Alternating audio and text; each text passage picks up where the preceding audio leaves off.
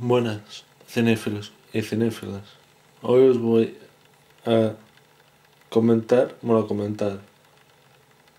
Os voy a hacer la crítica de la película Blitz con Jason Statham. Pues bien, esta película trata sobre un policía, Brand, que es el que interpreta Jason Statham, que tiene tendencias violentas y a tomarse la justicia por su propia mano. Él es policía. Pero como ve que la justicia flaquea por algunos sitios, decide tomársela por su propia mano. Y es muy Jason Statham esta película. O sea, los fans de Jason Statham como yo, os va a encantar. Y es que es siempre en una pelea de Jason Statham no, hay algunos que no, que no como por ejemplo Rogue. Pero normalmente en las peleas de Jason Statham es siempre viene me viene a la cabeza la palabra nunca acabaré de que, que no debes. Porque puede salir muy mal parado.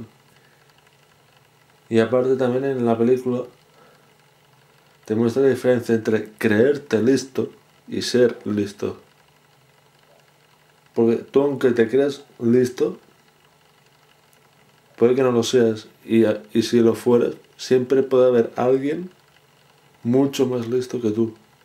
Y, si además le sumas a que es astuto esa persona, astuta, y le sumas una persona que ayuda al bueno, y que es como él, pues, dos, como dice el refrán, dos cabezas piensan mejor, mejor que uno. Y ya os digo yo que os va a gustar mucho la película, y sobre todo el final. Ya os digo, al final yo lo clasifico casi como un final Oceans. De la, de la trilogía Oceans 11, la 12 y 13. Pero os va a gustar. Digo, solo el final es un final Oceans, como os acabo de decir.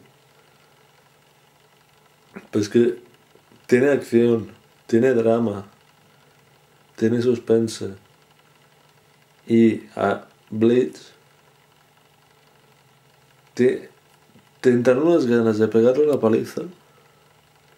Te pones en, el, en, el- en la piel de Brand. Pues es tan odioso y tan insoportable. Es como Sheldon de, de la, la teoría Big Bang, pero en psicópata. Y sin manías. Pero vosotros esperad a, o sea, ir viendo la película porque a medida que va pasando la película te cuenta por qué mata a los polis. Y por qué cuando está en la comisaría no se pone a, no se lía a tiros a matar a todos los polis, o sea, no mata al azar. Mata a un tipo, a unos polis que él elige y por una razón, que no os lo voy a contar porque no, no os voy a hacer un spoiler.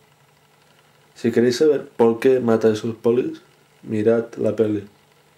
Y ya os digo, los que tengáis, entre comillas, miedo a un final triste,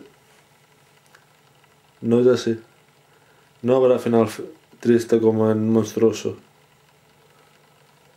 Hay un final muy alegre. O sea, alegre es como que decir, de esos final, finales que dices, toma ya, cabrón. Y, con esto no os he contado el final, ¿eh? Porque con la frase que os he dicho pueden pasar muchas cosas en el final. Pero os digo yo que os va a gustar mucho la película y sobre todo el final.